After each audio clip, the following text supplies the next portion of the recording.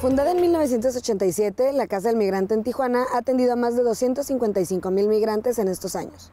Su flujo está constituido de 90% por mexicanos deportados desde Estados Unidos, de los cuales alrededor del 35% de ellos llevaba más de 10 años viviendo en ese país. Actualmente se encuentran implementando un modelo de reinserción social para apoyar a estas personas, un modelo de atención integral que les permita vislumbrar una vida nueva desde este lado de la frontera. En Diálogos desde la Frontera platicamos con dos de los integrantes de la Casa del Migrante que nos van a platicar todo sobre este plan y cómo están trabajando. Acompáñanos.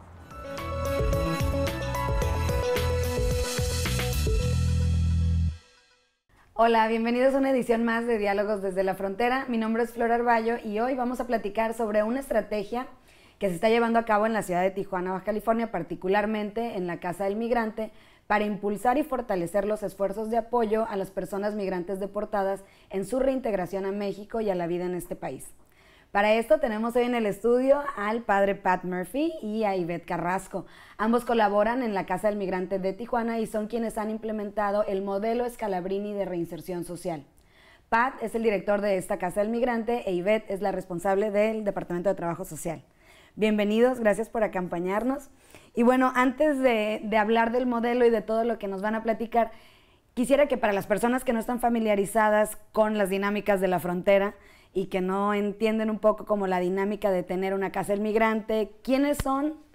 ¿Qué necesidades tienen? ¿Quiénes son las personas que llegan y cuáles son las principales necesidades que ustedes han visto eh, aquí en la casa del migrante? Muy bien, gracias por la oportunidad de compartir eh, con el programa.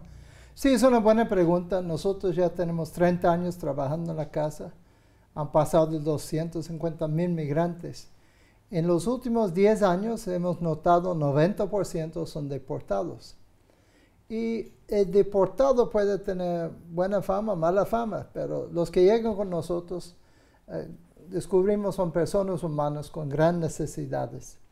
Y para poner en contexto un poquito, podemos hablar de gente vulnerable, gente que llegan sin conocer México, a veces hay gente que ni saben español, uh, ya están desubicados. Los más vulnerables llegan con nosotros en la casa inmigrante. Entonces, ese es el perfil en que estamos trabajando. Uh, por supuesto, hay gente deportada que viene a la cárcel. Ellos saben más o menos que van a ser deportados. Pero otro grupo, que es un buen número, lo podemos llamar los deportados de sorpresa Tú estás caminando, regresando al trabajo, estás en tu casa y llega la migración y boom, en la noche o días después estás en Tijuana. Desubicados porque no conocen el lugar, no saben qué, qué voy a hacer.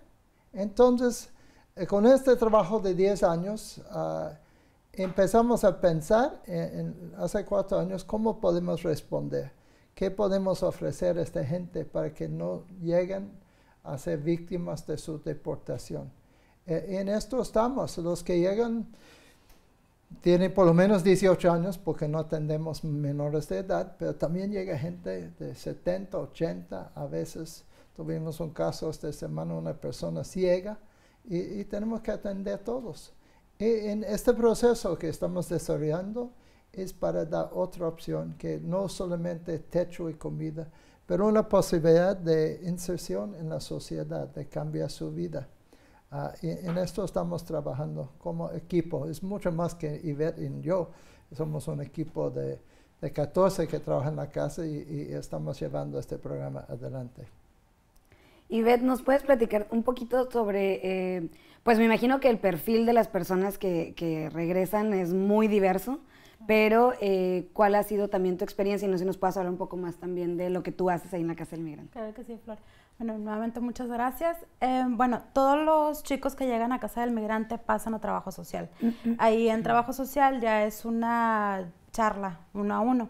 Ahí nosotros ya podemos indagar un poquito en la historia de cada persona, nada más que, como lo comentaba Padre, son personas que ya tuvieron todo un largo proceso, ¿no? Entonces llegan a nosotros ah, después de las 8 de la noche en adelante por lo tanto ya están cansados, ¿no? Los detienen a lo mejor en su casa, en su trabajo, pasan ya sea por la estancia de policías, por el proceso de, de migración, posteriormente los entregan a México y todas estas instancias les hacen varias preguntas. Entonces llegan con nosotros y también tenemos que indagar, por lo tanto se sienten molestos, pudiera ser, y es ahí donde tenemos que crear como un ambiente de confianza para ellos y que ya nos puedan dar todo el, relato ¿no? de, de, lo que ha pasado en ese momento. Nosotros les tomamos las huellas y les tomamos una fotografía, entonces muchos también tienen miedo de que la información que nosotros vayamos a pedirles les vaya a afectar o que a lo mejor migración se vaya a enterar de cuántas veces han intentado cruzar la frontera. Entonces todo esto va ah, generando ciertas emociones en ellos, ¿no? A lo mejor les recuerda algo y les da mucho coraje o les da tristeza, arrepentimiento y es ahí cuando tiene que haber una cierta intervención, ¿no? Para, para ellos. Todos son completamente diferentes, pero afortunadamente, como comentaba padre, tenemos el equipo completamente capacitado. Somos como un kit de primeros auxilios, ¿no? Para las emociones de los migrantes. Y esto nos ayuda a este, generar esta el, ambiente en toda la casa, ¿no? Es, es realmente el reto muy importante para um, el momento en el que van llegando, ¿no? Que viene siendo como sus necesidades principales y posteriormente ya lo que sigue, ¿no? El, conseguir un trabajo o el identificar qué es lo que van a hacer o si van a este, quedarse en la ciudad o, viajar, ¿no? Y ya posteriormente son los, las etapas del, del programa que manejamos. A ver, entonces para resumir y para tenerlo también como en términos numéricos y de cifras, ¿son hombres nada más o se atiende también a mujeres? Únicamente hombres, hombres mayores de edad. ¿Cuántos aproximadamente llegan, no sé si me pueden decir semanal, mensual o a cuántas personas atienden, qué capacidad tiene la Casa del Migrante? Sí, claro. Bueno, la casa tiene en camas, son 170 camas las que se pueden utilizar y ya dependiendo de, la emergencia que haya en el momento, ya se pueden utilizar colchonetas, ¿no? Entonces mm. eso es Ah, una pequeña variación. Sin embargo, ah, en este mes hemos estado manejando un promedio de 90 personas diarias aproximadamente y se reciben aproximadamente 25 diarios. Y no necesariamente son personas deportadas, o sea, pueden ser personas que vienen del interior del país o de alguna otra parte como recientemente con la crisis de las personas que llegaron de Haití, en fin, cualquier migrante. Claro. No necesariamente deportado. Muy bien, pues vamos a hacer una pequeña pausa y vamos a regresar ahora sí para que nos platiquen sobre el modelo Scalabrini de reinserción social. No se vayan estos diálogos desde la frontera.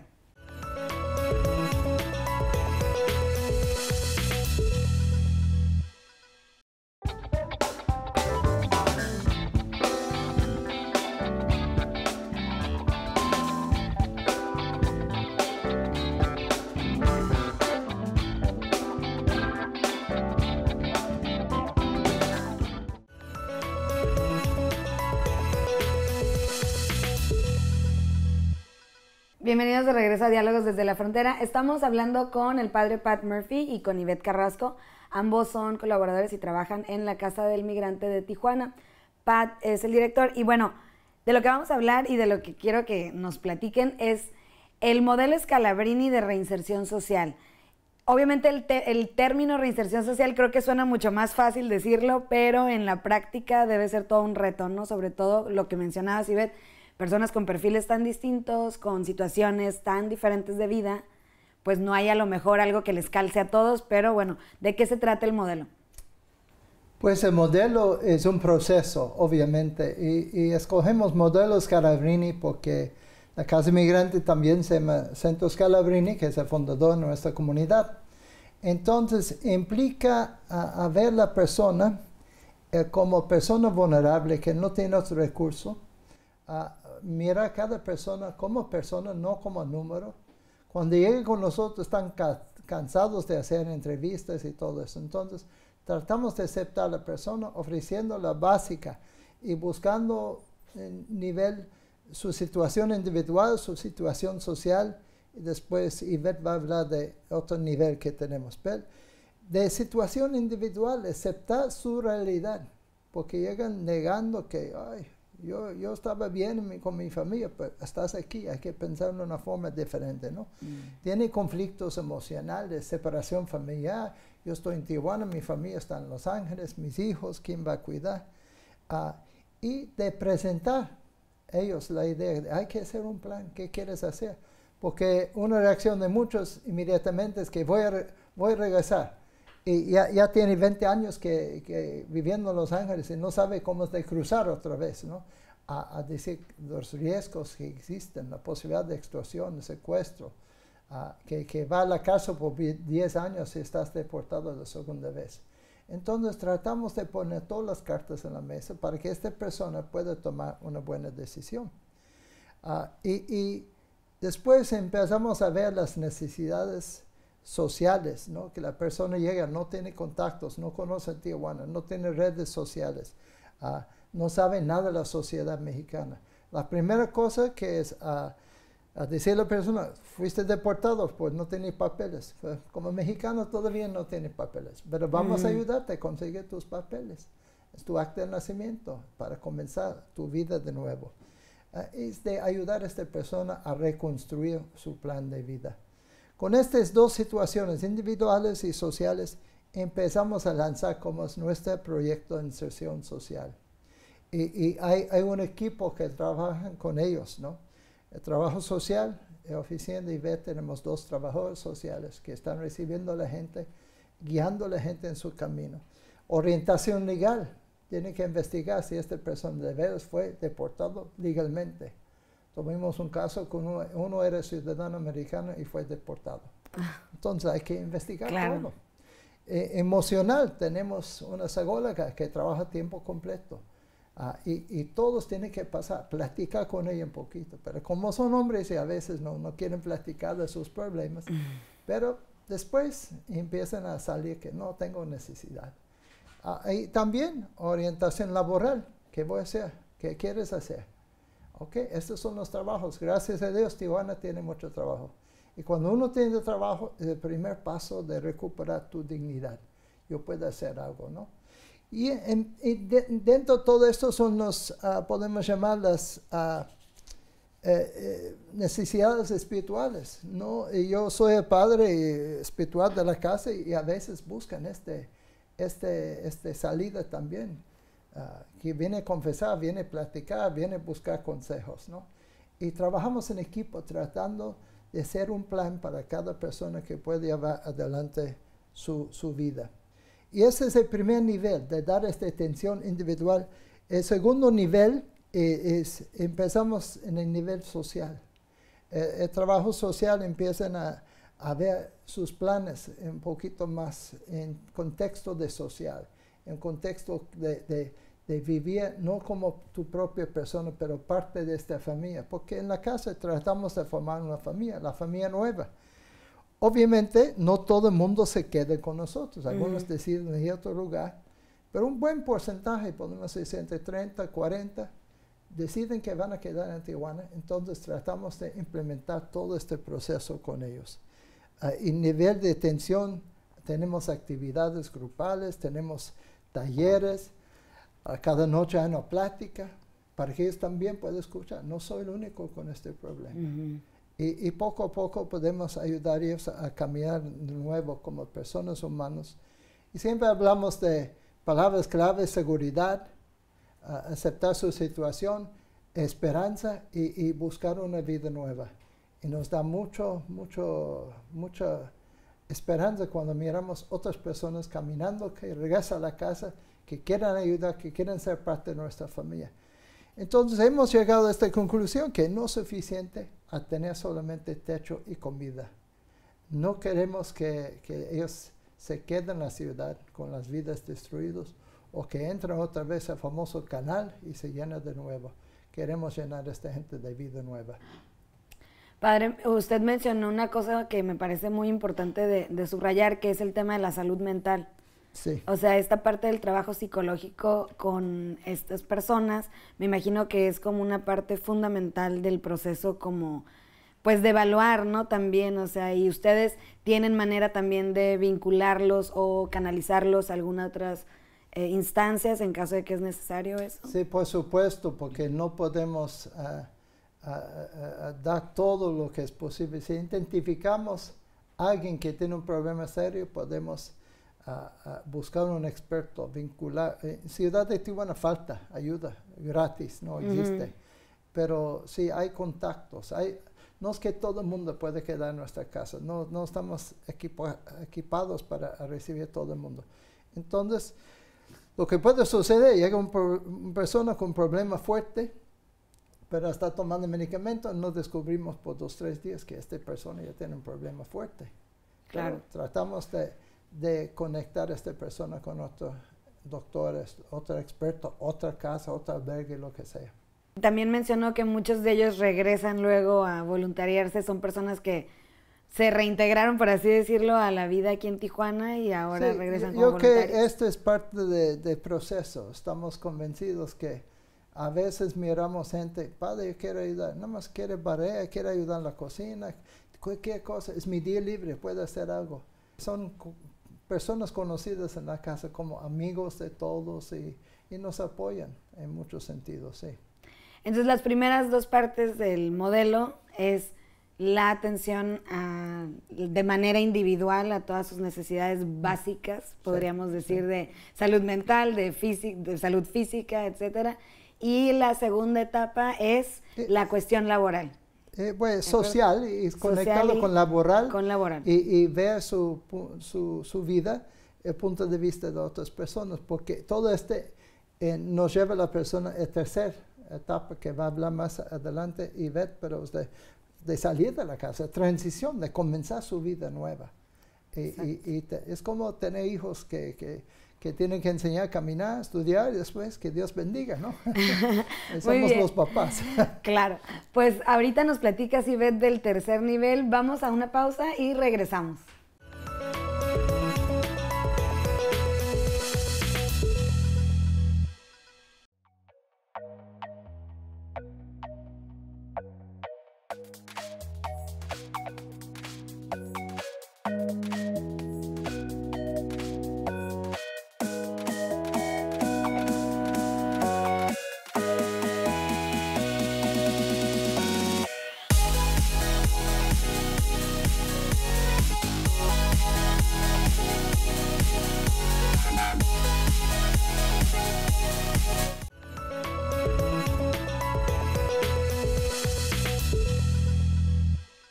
Ya estamos de regreso y eh, hay un tercer nivel en el modelo Scalabrini que quizá es también una de las cosas más complicadas, eh, digo, en base a lo que he leído de, este tema con su modelo, que es el seguimiento. Entonces, no sé, Ivette, ¿nos puedes explicar la tercera parte de, este modelo? Claro que sí. Bueno, em, el modelo, como ya lo habían comentado, en un principio son las las atención, perdón, la atención a las necesidades inmediatas. En el segundo, en realidad ya es como toda la transición ah, de los chicos. Ya en el tercer es la prueba de fuego, ¿no? Porque es cuando ya se separa la casa del migrante. Entonces, ellos es cuando, mm, si no tienen el cuidado, digamos, adecuado en, en las decisiones o en el rumbo que toman, mm. pudieran llegar a retomar antiguos vicios o caer en una inmensa depresión, puesto que se sienten solos, ¿no? Ya no hay un respaldo. Entonces, debido a esto fue que se inició con la idea de este, invitarlos a que continúen viniendo a casa, oyendo, perdón, a la casa del migrante, ya sea por comida, por el lonche, por un corte de cabello o igual. Muchos de ellos saben carpintería y saben muchos oficios, entonces nos ayudan al mantenimiento del edificio mm. o y en la cocina, ¿no? Que la mayoría quiere ayudar. Entonces, todo esto es parte del, seguimiento, como lo comentaba padre, y ellos ya se sienten parte de, la casa, ¿no? de, la familia Scalabrini. hay en este punto ellos ya salieron a un departamento. Estamos hablando que son las personas que decidieron quedarse en Tijuana y que ya tienen un trabajo, que ya buscaron un lugar a donde irse, pero este lugar generalmente es un departamento vacío, ¿no? Entonces, afortunadamente, de las mismas donaciones que, que recibimos, nosotros les podemos dar desde apoyo económico hasta muebles o despensa, ¿no? Lo que esté a nuestro alcance para que ellos tengan y puedan iniciar. Muchas veces es por eso que regresan por lo menos a comer, ¿no? Para no, no gastar en eso y que puedan ir ahorrando. Eh, nosotros les ayudamos con una caja de ahorro también, entonces eso les retiene un poquito sus ingresos y lo pueden administrar mejor. los chicos que están ahí en casa, todos son migrantes a fin de cuentas, ¿no? Independientemente de la historia que hayan tenido, eh, en algún momento tuvieron que cambiar su vida por completo. Entonces, ya que están ahí, ellos tienen la, la idea muchas veces de que quieren continuar con la escuela o de que quieren aprender a leer y escribir. Hay unos que dejaron su, su carrera trunca, entonces quieren continuar. Y es aquí donde también se surgió la, la, idea de comenzar un nuevo proyecto que ya va a ser un centro de formación. En este mm. centro de formación se les va a certificar cualquier oficio que ellos puedan tener y también se les va a ayudar a escolarizarse, ¿no? con un apoyo en una universidad o terminar la preparatoria, para que de esta manera ellos vean que realmente pueden salir adelante aquí en la ciudad, ¿no? Así como motivarlos para que se queden contentos realmente con la decisión que tomaron generalmente nos dicen cuál es la diferencia entre un caso este, exitoso y un no exitoso. Sí, te iba a preguntar precisamente como qué resultados han visto con, con este modelo. Claro, es un poco complicado definirlo porque son un sinnúmero de factores, ¿no? Pero pudiera dar un ejemplo muy claro. dos muchachos que estuvieron en Estados Unidos toda su vida, Ah, por algún motivo entraron a prisión, duraron bastante tiempo, terminaron su periodo en prisión y los deportaron, ¿no? Entonces es un cambio de vida completamente radical para ellos porque todo lo que conocían, su forma de vida, su familia y demás está en Estados Unidos. Entonces llegan a un país completamente desconocido para ellos y no saben qué hacer. Llegan con nosotros, les presentamos el mundo de posibilidades que puede haber en, en México y entonces ellos logran todo este proceso, ¿no? Pasar por todo el modelo Scalabrini. Entonces encuentran un trabajo, encuentran un departamento, salen de casa, continúan con visitas cada semana. Pero ah, al momento de que salen de casa se van formando sus propias redes sociales. Entonces uno decide continuar con su trabajo, su familia de hecho lo visita cada fin de semana, aún tenemos contacto con él y lleva una vida tranquila. Y el otro, por las mismas relaciones que hizo, perdió trabajo, perdió su mm. departamento y ahorita está en situación de calle y eh, consume drogas. Ellos comenzaron en un escenario similar, pero eh, las redes sociales que se van formando son un punto clave y es por eso que en este momento o en, ya en este tercer nivel es tan importante el, el seguimiento y el apoyo que se le esté dando por parte de, Casa del Migrante. Este, todos los muchachos que llegan ahí a la casa, que se sienten parte de, del equipo o que sienten que son bienvenidos, generalmente son los que responden de manera positiva. Nosotros ya en este, en este punto, en ese momento, ya los conocemos un poco, ya sabemos de qué manera presionarlos o cómo motivarlos para que ellos realmente se den cuenta de todo el potencial que tienen y de que pueden salir adelante, ¿no? Y que no se sientan también ellos como como externos a, o con el miedo de salir a, la calle y trabajar y ir a rentar lejos incluso de, de la zona de la colonia donde está la casa del migrante. Entonces, todo este tipo de, el, motivarlos, el aplaudir sus logros, ¿no? Porque luego llegan y nos presumen su INE o nos presumen eh, la primera vez que fueron al cine o, no sé, su primer pago, ¿no? También llegan y lo presumen y todo eso son logros que ellos tienen y si nosotros nos sentimos orgullosos de ellos, entonces se sienten bien y se sienten parte de, de la casa.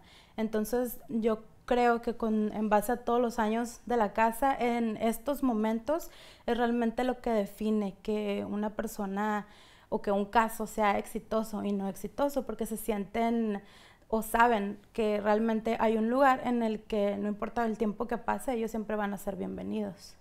Claro, o sea, y me imagino también, o sea, ¿qué porcentaje de ellos, em, o no sé si me puedes, digo, no quiero la cifra exacta, pero ¿De qué estaríamos hablando de las personas que deciden irse a sus lugares de origen, a los que deciden iniciar o tratar de iniciar una vida aquí en Tijuana? Me atrevo a decir que... o volver a migrar, ¿no? Intentar claro, yo me atrevo a decir que realmente se queda un 30% de, de las personas que están aquí en, o que llegan a Casa del Migrante, ¿no? En específico. Porque muchos pudiera ser que pasan hasta un año, ¿no? Y deciden irse a su ciudad de origen. Unos nada más van de vacaciones y regresan. Mm. Entonces, eso también para nosotros es un caso exitoso, porque a fin de cuentas están bien, están estables, no se arriesgan a que los detengan en un cruce y ya los tratan como criminales, ¿no? Porque ya es este, prisión federal. Entonces, ese tipo de riesgos son a los que se los que pueden suceder, ¿no? Al momento de que toman una decisión que no pensaron adecuadamente. Claro, pues muchísimas felicidades por el trabajo que están haciendo, que dice, ya tienen 30 años, la Casa del Migrante en Tijuana. Muchísimas gracias por acompañarnos. Muchas gracias también a ustedes por, por vernos. Recuerden que pueden visitar nuestro sitio web del COLEF, donde también pueden encontrar información sobre Tijuana, sobre los eventos que hacemos, sobre los seminarios y toda la información que, tenemos también en el canal de YouTube. Pueden ver este programa y otros eh, contenidos. Y bueno, también pueden ingresar a través de nuestro portal y en este programa pueden ver información sobre la Casa del Migrante. Y pues muchas felicidades, muchas gracias, por acompañarnos. Y a ustedes nos vemos en la próxima edición de Diálogos desde la Frontera.